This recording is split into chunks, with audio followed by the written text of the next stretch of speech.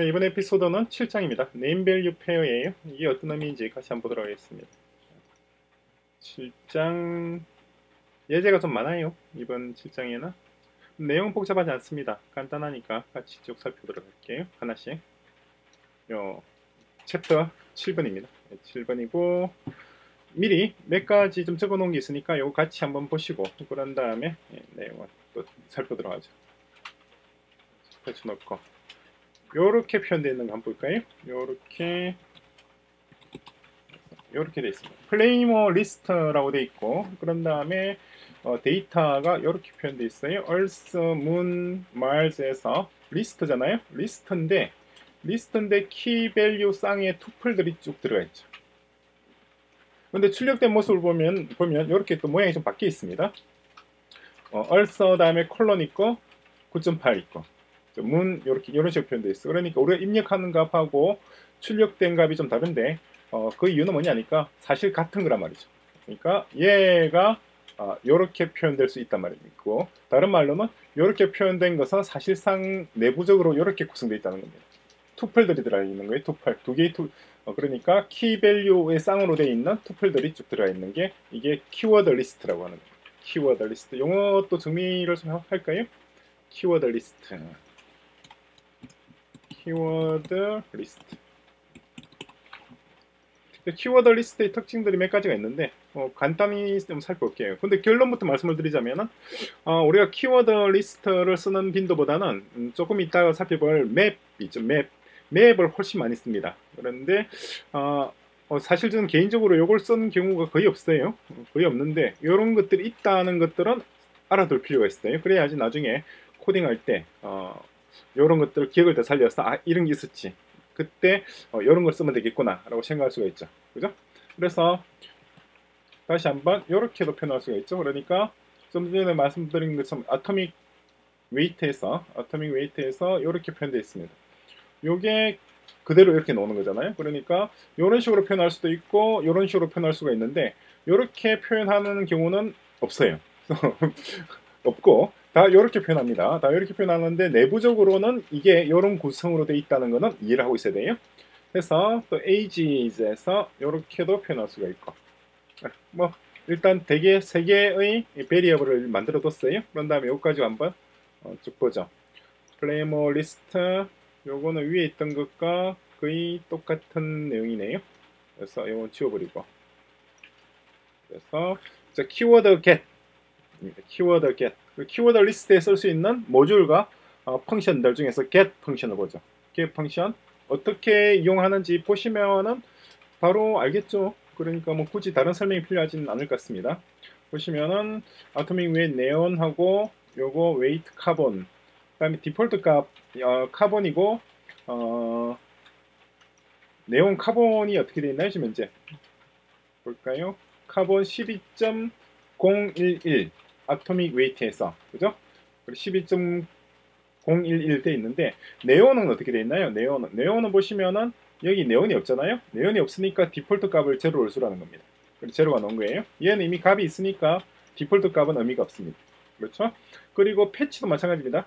패치도 객과 거의 같은 내용인데 어, 없을 경우 이렇게 L가 떠요. L가 뜨도록 표시라는 것이 키워드 패치입니다. 이것도 쓰일 때가 뭐 가끔씩은 있을 거예요. 우리가 표준어는 코딩할 때 여기 있는 내용들 중에서 일부는 씁니다. 어, 그러니까 요거 내용을 좀 잘 봐두시기 바랍니다. 그리고 get value에서 age에서 시몬 시몬을 불러드릴 때 요거는 그냥 그대로 어, 똑같겠죠. value만 리턴 되겠죠. 시몬의 value 40. 그런데 시몬이 한 명만 있는 것이 아니라 두 명이 있어요. 그럼 두 명 다 값이 리스트로서 출력이 되죠. 이런 식으로. 그죠? 그러니까 키워드 리스트는 키가 중복될 수가 있다는 겁니다. 시몬, 시몬. 그죠?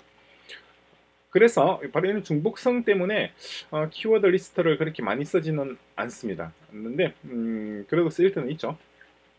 그리고 실제 키가 있는지 없는지 알아볼 때 어, 특정 키가 있는지 없는지 알아볼 때 이런 식으로 카본, true, 네온, false weight도 마찬가지로 put new put new의 경우에는 어, 새로운 뭔가를 추가할 때입니다. 그러니까 키워드 weight에서 헬륨 지금 현재 어, atomic weight에 헬륨은 없잖아요. 없죠? 그런데 이 헬륨 키, atom, 헬륨에서 이렇게 4.0016을 넣게 되면 새로운 헬륨 element가 이렇게 추가가 되죠. 그죠? 그리고 만약에 이미 그러한 키가 있다. 그럴 경우에는 이게 먹히진 않습니다. put new가. 지금 헬륨을 마이너스 1로 넣었는데 마이너스 1로 가, 바뀌는 것이 아니라 아예 들어가지가 않죠. 그죠? 그래서 이런 것들은 좀 헷갈릴 수가 있어요. 나중에 쓸 때. 헷갈릴 수가 있으니까 실제 우리 코딩할 때는 어, 항상 이 document를 확인해 가면서 써야 됩니다. 안 그러면은 어, 안 그러면은 나중에 오류나 버그가 발생할 가능성이 굉장히 큽니다. 제가 사실 그렇게 해서 어, 코딩하면서 버그가 많이 발생했더랬어요. 그래서 항상 요 자주 쓰지 않는 이러한 키워드 리스트에 관련되어 있는 모듈과 function들은 관련 document들, document들을 확인하는 방법은 좀 이따 또 살펴볼, 살펴볼 거예요. 항상 다큐멘트 확인해가면서 진행해야 됩니다.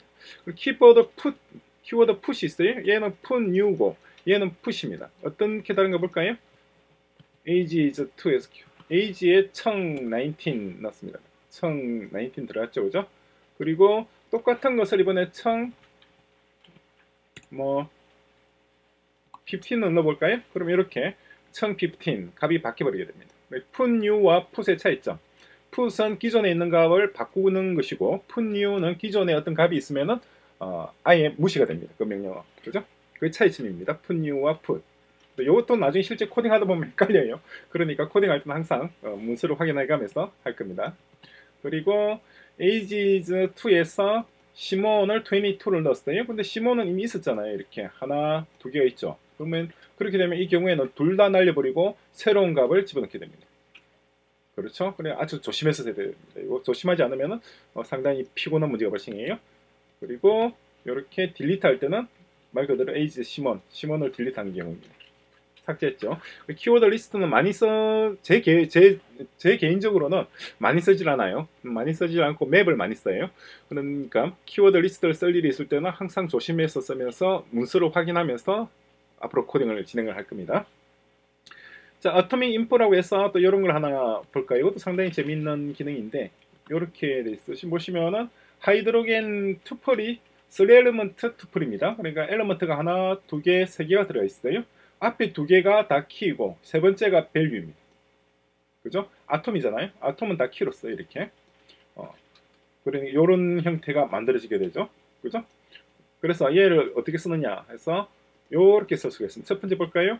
keyfind에서 atomic info에서 H, H를 찾아라. 그리고 얘의 위치는 1번이다. 1번이라고 하는 것은 무슨 말이냐니까 얘가 0이고 얘가 1이고 0이고 1이에요. 그래서 1이 있는 걸 찾아라 라고 하는 거죠. 그러면은 얘에서 찾아내죠. 두 번째 element. 두 번째 element가 1번이잖아요. 그죠? 그래서 hydrogen H1 요거 찾아서 이렇게 리턴하고 있죠. 그죠?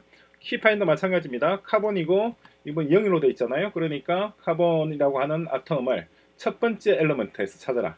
첫 번째 element 얘잖아요. 얘도 첫 번째 element고 얘도 첫 번째 element죠. 찾아내는 겁니다. 그죠?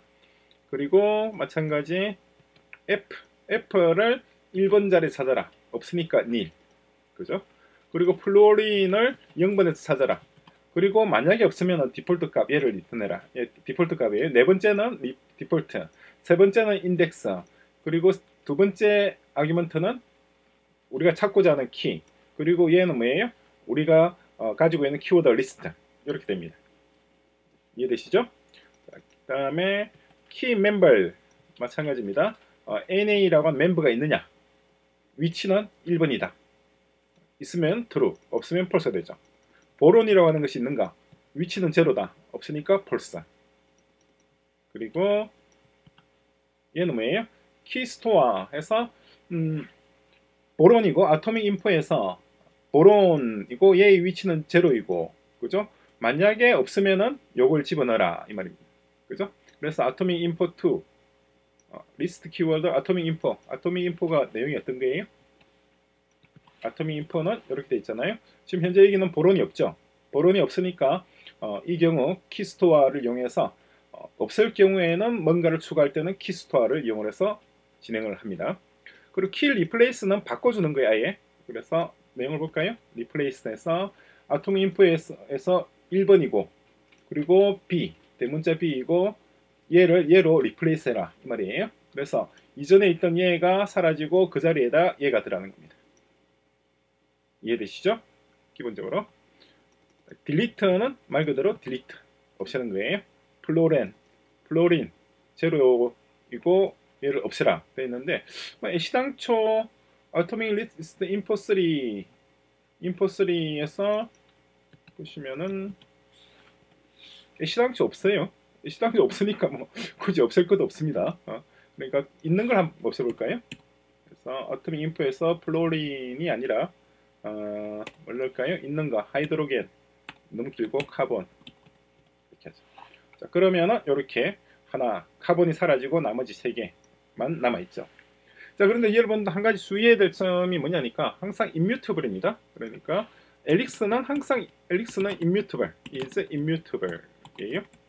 무슨 말이냐니까 여기서 리스트 키워드를 delete해서 atomic info three에서 carbon 어, 이걸 제거를 하라고 이렇게 명령을 줬잖아요. 이걸 이거, 이것만 복사를 해서 밑에다 붙이고 carbon이 아니라 다른 걸 넣죠.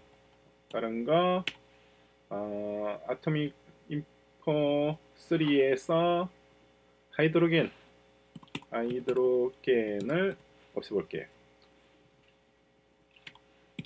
hydrogen. 그러면은 hydrogen이 없어지느냐? 없어졌죠. 그죠? 그러면 atomic info 3에 이 hydrogen이 없어졌겠죠? 라고 확인을 해보면은 세상에 hydrogen이 그대로 있단 말이죠. 그러니까 어, 한 번 만들어진 데이터는 그것이 무엇이든 간에 쓸 때 바뀌지 않습니다. 어, 그죠? 그럼에도 불구하고 우리가 뭔가를 추가하거나 삭제하거나 변경하거나 할 수가 있잖아요. 그건 무슨 말이냐니까 추가하거나 삭제하거나 변경하는 경우에는 그것을 새로운 베리어블에 담지 않으면 흑공으로 날아가 버리고 없습니다. 그래서 계속 지금 담고 있는 거예요. 어토믹 인포 4라든가 지금 아토믹 인포 2로 담고 인포 3로 담고 인포 4로 담고 5로 담고 6로 계속 담고 있잖아요. 그죠? 담고 있는 것은 뭐냐니까 원본은 절대로 안 바뀐다는 거예요. 그죠? 자, 이것도 볼까요? info 3에서 이번에는 어, key delete해서 carbon을 지운 겁니다. carbon을 지웠으니까 이렇게 지워졌죠? 그러니까 atomic info 5는 carbon이 없죠? 없는 것이 새로 추가되어 있죠. 그죠? carbon이 없는데 atomic info 3는 어떻게 되어 있느냐니까 원래대로 그대로 carbon이 있습니다. 변함이 없단 말이에요. 그죠? 요점 여러분 주의를 하셔야 됩니다. 왜냐니까 다른 언어랑 다른 부분이 이런 부분이란 말이죠. 우리가 공부했던 JavaScript나 TypeScript나 Python이나 뭐 Rust나 이런 언어는 그렇지 않다 말이죠. 자, key replace입니다. replace 이거 1번 자리고 B이고 이것을 얘로 바꾸란 말입니다. 바꿔줬으니까 zinc가 들어갔죠. 그죠? 마찬가지입니다. atomic info 6는 이제 바뀌었죠. 바뀐 뭔가가 zinc가 나타나는데 atomic info 2는 전혀 변함이 없습니다. 그대로 어, 원래의 모습 그대로입니다. 그죠? B boron이잖아요. boron이 그대로 살아있죠.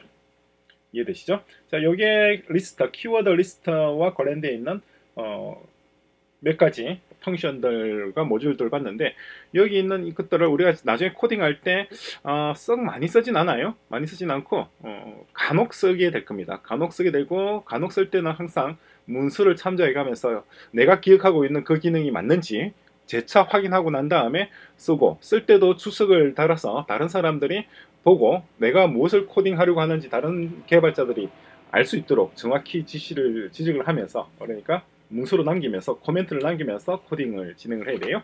그러면 실제로 많이 쓰는 건 뭐냐? 그거는 맵입니다. 맵. 그게 다 맵스의 주제예요.